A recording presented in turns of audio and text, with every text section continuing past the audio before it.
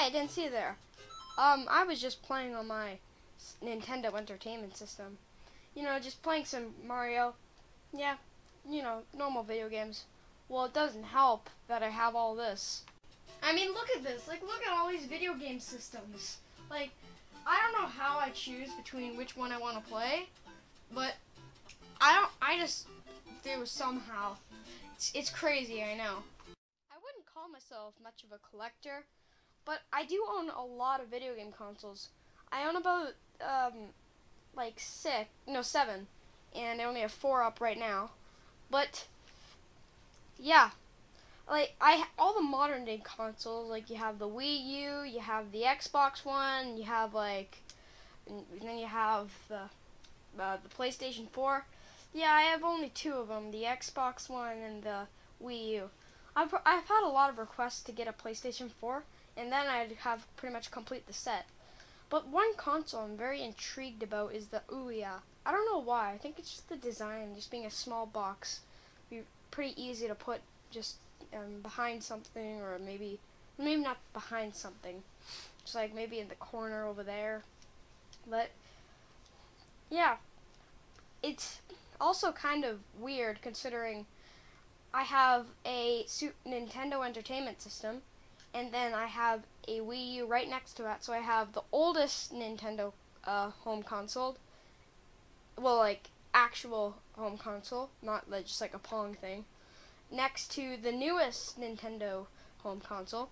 So it's kind of like you were to like bring the Wii U um, back when the Nintendo when the first Nintendo came out, people would just be like, "What the heck?" Yeah. But I don't know why I haven't gotten a PlayStation. This may seem surprising for a lot of people, but I've actually never owned a PlayStation console. So I don't know what it's like to have a PlayStation. I I'm not that big of a Sony fan. Um, I used to be all about Microsoft, but now it's kind of in between um, Nintendo and uh, yeah, Nintendo and Microsoft.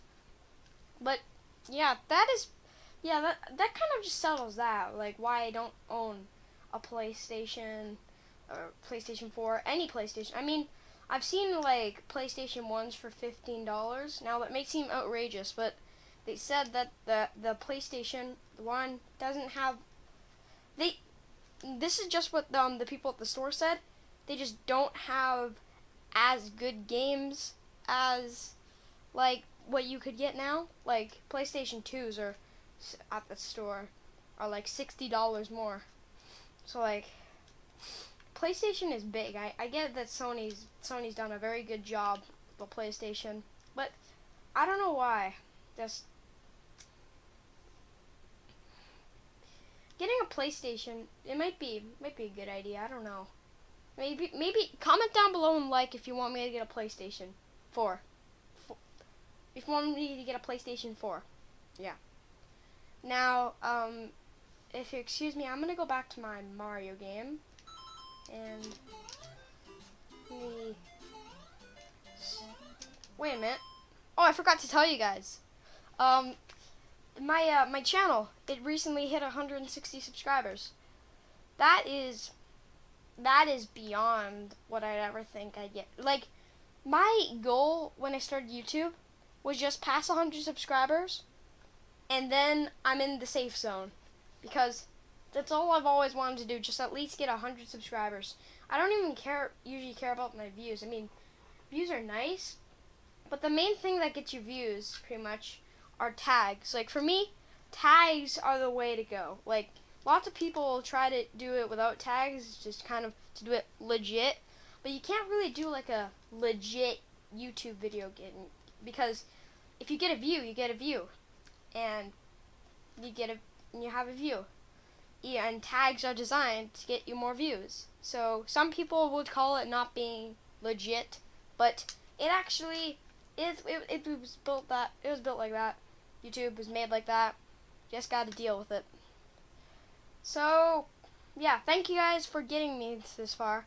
Um, the store that I made, Epic Games and More in Minecraft, they made a Facebook post about me, which is, like, that was so I was so happy. It warmed my heart.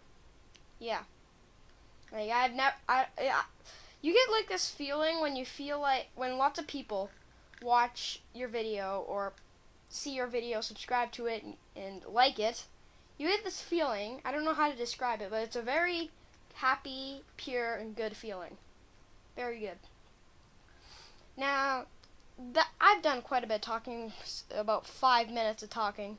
So, uh, yeah, uh, I'm just gonna go back to my um, my game. But you know, if you want if you want to become a, a big YouTuber, you just you just need to you just need to do what you want to do, and that's that's all that you need to do.